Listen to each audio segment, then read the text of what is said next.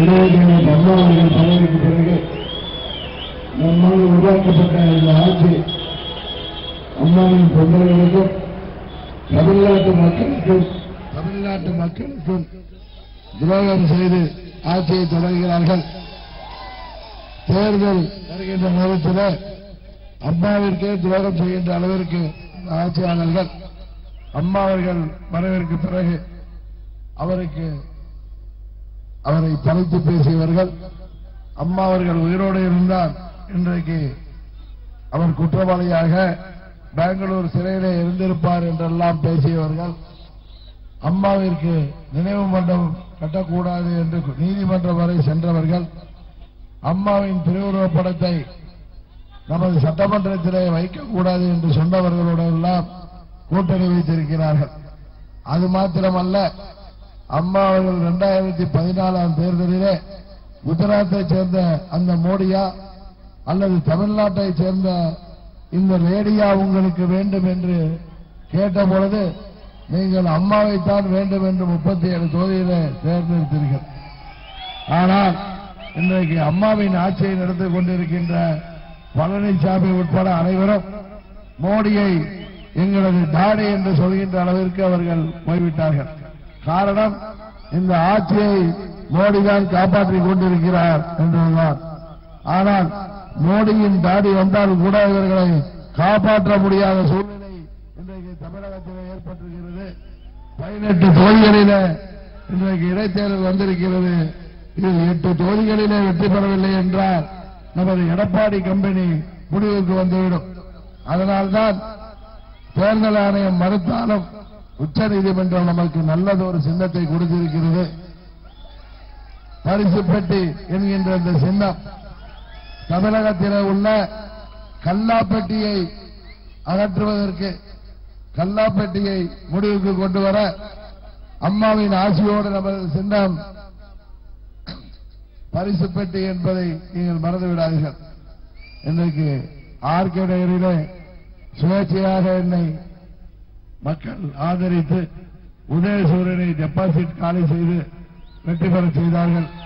இன்றைக்கு நமக்கு இந்த மாபெரும் கட்சிக்கு அந்தஸ்து கொடுக்காமல் நம்மை சுயேட்சைகளாக இவர்கள் தமிழகம் முழுவதும் நிறுத்தியிருந்தாலும் உச்சநீதிமன்றம் நமக்கு ஒரே சின்னத்திலே நாம் போட்டியிடுவதற்கு வாய்ப்பு தந்திருக்கிறது.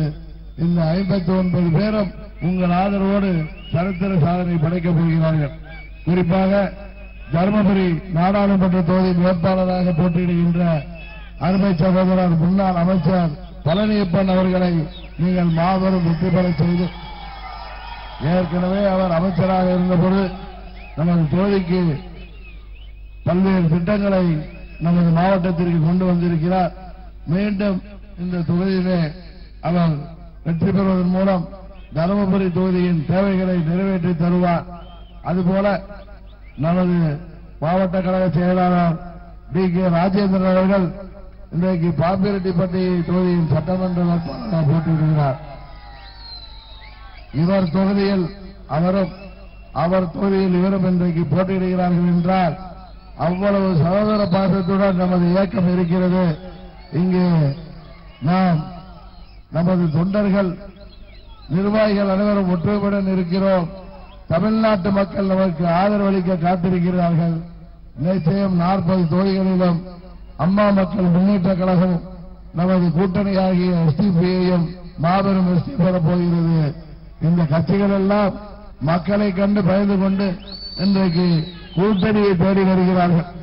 இந்த காங்கிரஸ் திமுக கூட்டணி என்பது ஏற்கனவே பத்து ஆண்டுகள் இந்தியாவை ஆட்சி செய்த பொழுது அவர்கள் தமிழ்நாட்டிற்கு என்ன செய்தார்கள்? எதுவும் செய்யவில்லை. அதனால்தான் இரண்டாயிரத்தி பதினொன்றில் திமுக தமிழகத்தில் ஆட்சி பொறுப்பை ஏற்க முடியாமல் போனது.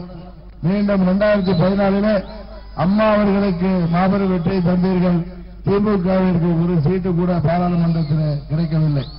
பதினாறிலும் அவர்களை புறக்கணித்து விட்டீர்கள். ஆர்கே நகரிலும் அவர்களை டெபாசிட் காலி செய்தீர்கள். இன்றைக்கு அவர்கள் இந்தியாவின் நலனை காக்கிறேன் என்று சொல்லிக்கொண்டு நம்மை எல்லாம் ஏமாற்ற பார்க்கிறார்கள்.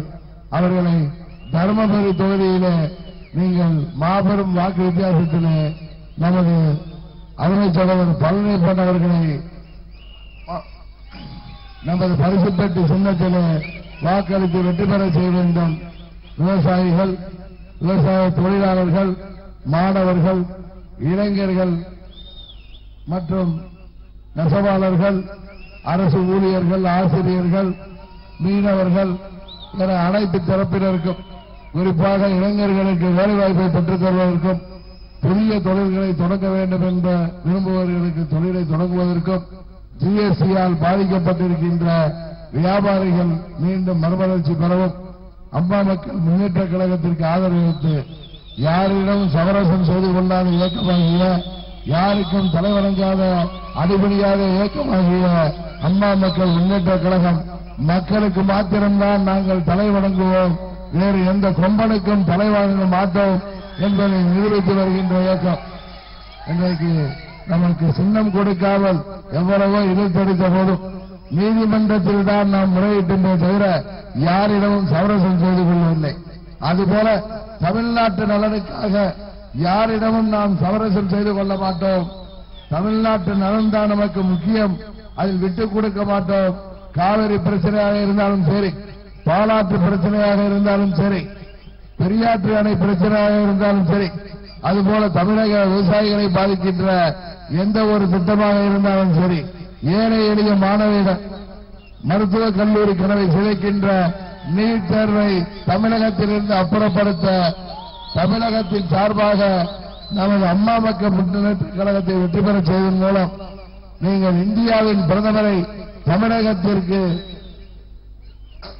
திட்டங்களை தருபவரை தமிழக மக்களுக்கு பாதுகாப்பாக இருக்கக்கூடிய பிரதமரை தேர்ந்தெடுக்கின்ற இடத்திலே அம்மா மக்கள் முன்னேற்ற கழகத்தை வைக்க வேண்டும் என்று மீண்டும் கேட்டுக்கொண்டு அருமை சகோதரர் பழனியப்பன் அவர்களை பரிசுப்பட்டு சின்னத்திலே வாக்களித்து இந்த துரோகிகளுக்கு முடிவு கட்ட தமிழகம் மற்றும் இந்தியாவில் ஆட்சி மாற்றத்தை உருவாக்க நீங்கள் உதவி செய்ய வேண்டுமாறு கேட்டு விடைபெறுகின்றேன். நன்றி வணக்கம்.